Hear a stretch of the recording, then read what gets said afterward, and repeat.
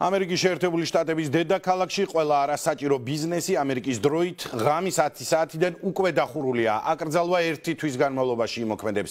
მის პარალელურად კი 4 შაბათ ღამეს სენატმა ამერიკული ეკონომიკის სასახალისებლად უპრეცედენტო პაკეტი შეიმუშავა და უკვე დაამტკიცა. მდგომარეობა ახლა ამერიკაში როგორი მდგომარეობა ახლა ამერიკაში და როგორია ბოლო მონაცემები რა ითვლება არასაჭირო ბიზნესად და როგორ დაეხმარებიან ეკონომიკას გამოცოცხლებაში. აი ამ ყველაფერს ამერიკის მის ჟურნალისტი მარიამ უგრე ხელიძე მოგუყვება ვაშინგტონიდან. პირდაპირ ეთერში მარიამ რა ხდება ამერიკის შეერთებულ შტატებში? გამარჯობა ირაკლი. ჯერ დავიწყებ უახლესი მონაცემებით რომელიც ამ დროის გვაქვს. ამერიკაში 75 მეტი ფიქსირებული 1000-ზე მეტი გარდაცვალება 619 გამოჯანმრთელებული. ყველაზე დიდი წილი აქედან ან მოდ ნიუ-იორკზე 37000-ზე მეტი ინფიცირებული ახლა ამ შტატში.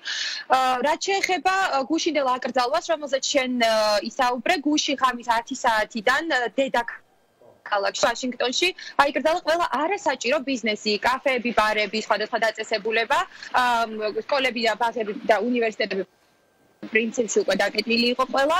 ერთი თვით 4 აპრილამდე ყველაფერი იქნება დახურული. პრინციპში აქამდე ნაწილი ბიზნესების ნებაყოფლობით იყო დახურული და ნაწილი მათი ნაწილი არ მუშაობდა, თუმცა ახლა ეს უკვე არის ადგილობრივი მთავრობის ოფიციალური მოთხოვნა, ასევე აიკრძალა 10 კაცის ან მეტი ის შეება ქალაქში ან ნებისმიერ სხვა ადგილას რაც შეეხება რაც შეეხება ეკონომიკური დახმარების პაკეტს რომელზეც შენ გაამახვე ყურადღება გუშინ გვიან სენატმა მიიღო ეს უპრეცედენტო ჯერ კანონ პროექტი, რომელიც ითვალისწინებს 2 ტრილიონი დოლარის გამოყოფას იმისთვის, რომ დაეხმარონ ბიზნესებს და ასევე მოსახლეობას, რომლებიც რომლებიც კორონავირუსით დაზარალდნენ.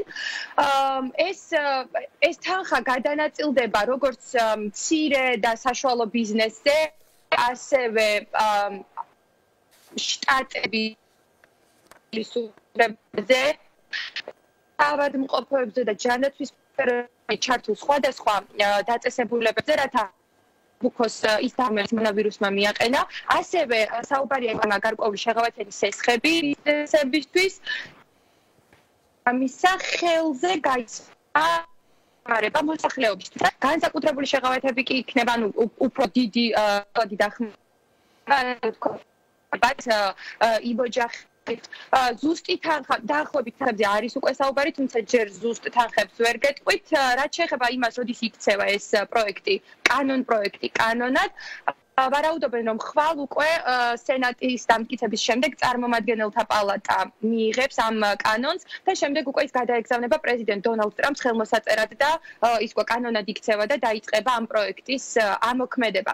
რაც შეეხება ქვეყანაში ზოგადად სიტუაციას, იცით რომ სამ შტატში არის ყველაზე რთული მდგომარეობა, ნიუ-იორკზე უკვე გითხარით, ასევე კალიფორნია და ვაშინგტონის შტატი არა ვაშინგტონის შტატი არიან ძალიან რთულ მდგომარეობაში.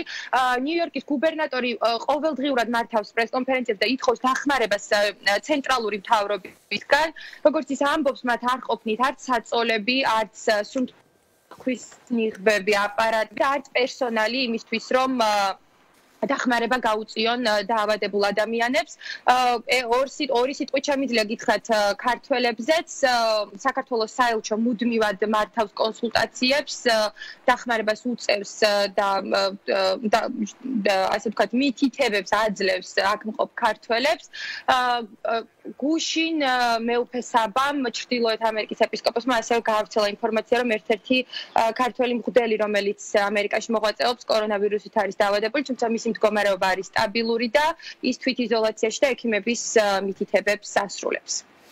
დიდი მადლობა მარიამ, კიდევ ბევრი შეკითხვა მქონდა, თუმცა ინტერნეტის ხარვეზია და ძალიან ხარვეზიანად ისმის შენიხმა, ამიტომ ჩვენ განვაგრძობთ პირდაპირ ეთერში მუშაობას და მომავალშიც აუცილებლად დაიკავშირდებით ამერიკის ხმის კორესპონდენტი მარიამ უგრეხელიძე საუბრობდა პირდაპირ ეთერში